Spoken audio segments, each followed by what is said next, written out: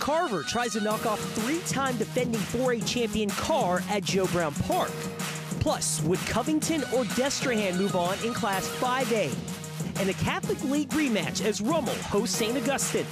That and much more tonight on Fourth Down Friday. From Channel 4, this is Fourth Down Friday, presented by your Southern Quality Ford dealers. We start with a Catholic League rematch in the Division One quarterfinals. Six seed Jesuit and three seed Curtis at Haas Memphis. The Patriots beat the Blue Jays in mid-October, but Jesuit fires the first shots. Grant Jordan to Luke LaForge on the rollout. Blue Jays with an early 7-0 lead. Jesuit head coach Mark Songy said the key to an upset to was limit was to limit Curtis's big plays. Easier said than done. That was Corey Wren scoring to tie it up at seven. Still in the first, the Veer attack goes to the air. Colin Guggenheim, this one out to Javon Studemeyer Davis, 56 yard strike. Curtis jumps in front 14 7. Blue Jays kept it interesting. Curtis wins by just seven tonight, 34 to 27, your final. The second week of postseason play in the metro area. What up? Welcome to Fourth Down Friday. I'm Ricardo LeCompte. When the playoff brackets initially come out, it's always a fun exercise to project potential matchups in each round, especially if two rivals can square off. Well, we got one.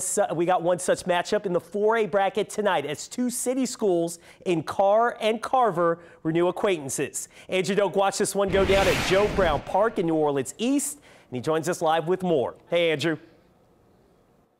Yeah, Hey, Ricardo, and look, if you're Edna Karr going for your fourth straight state championship at the 4A level, at this point, you're not rebuilding, you're just reloading. Now, there are about 11 players from last year's state championship team that are still a part of this squad, and while Karr head coach Brice Brown was quick to bat that statistic away, he was very quick after this game to point to the leadership of his senior quarterback, Leonard Kelly.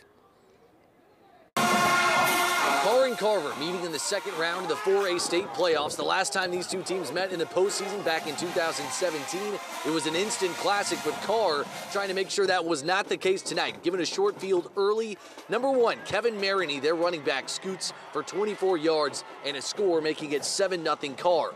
Ensuing drive, Karr scoping a score again, and this Leonard Kelly bomb resulting in a 55-yard hookup for six to Dustin Payson 14 zip Karr after the PAT and Payzon's mismatch became a problem for Carver. Here, climbing the ladder for six more, the Rams simply had no one who could cover him one-on-one. It was 20 nada Karr.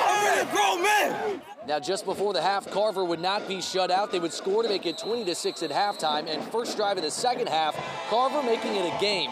A Quincy Curry flick of the wrist to number 13, Deloyd Lewis, making it an eight-point game.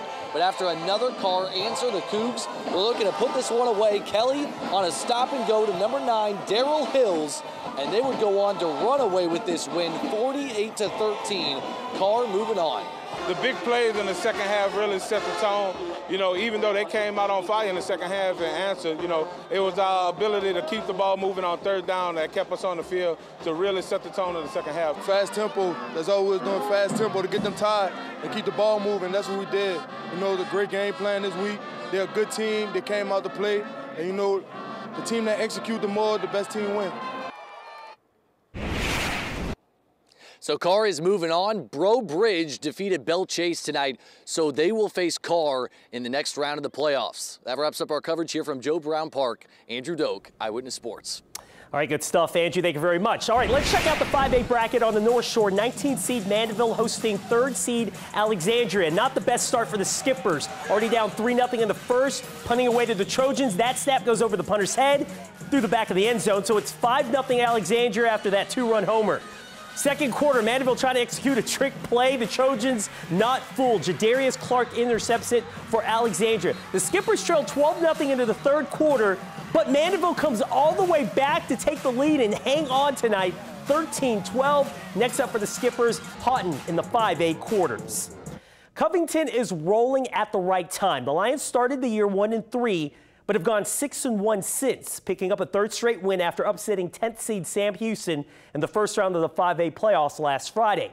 Covington returns to Jack Salter Stadium tonight, welcoming in a staple in the state playoffs in Destrehan. The seventh seed Wildcats also on a roll, winners of five straight after they knocked off Ponchatoula in round one. But they trailed by a touchdown going into the fourth. 7-3 now, lines with the rock, but running back Cade Rogers puts it on the turf. Destrehan's Eric Jones recovers the fumble. A costly turnover for Covington. Alabama commit Kyle Edwards gets going. The Wildcat running back right up the middle, untouched 15-yard touchdown. Wildcats take their first lead of the game, 10 to 7. On the ensuing kickoff, Covington trying to make a play here, but they're going to end up coughing it up again. Another fumble. Jaden Harding for Destrehan is going to recover this. Another big turnover, and the Wildcats would cash in. Edwards bangs it in from three yards out. His second rushing score, 36 carries, a buck 75 for Edwards as Destrehan goes up 10, and that seals the fourth quarter comeback for Destrehan. Wildcats are moving on to 5A quarter 17-7. They'll host West Monroe next week. Coming up, we'll head to Joe Yenni, where Rummel puts his unbeaten record on the line against Catholic League rivals St. Aug. But first, some scores from across the state.